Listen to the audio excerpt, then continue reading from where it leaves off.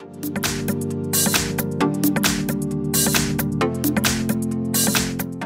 Welcome, here. I've got Xiaomi Poco F2 Pro and I'm gonna show you how to turn on and off the camera mirror effect at this device. So at first you have to click on the camera button here. And as you can see we are in the standard photo mode uh, so to get access to the uh, mirror effect we have to change the camera from the back camera to the front camera and we can do it by tapping on this button here. So hi.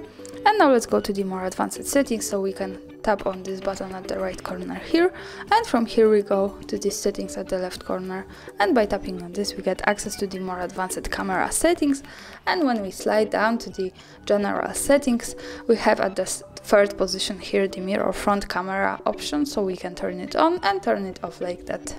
So this is how it works, thanks for watching, subscribe our channel and leave the thumbs up.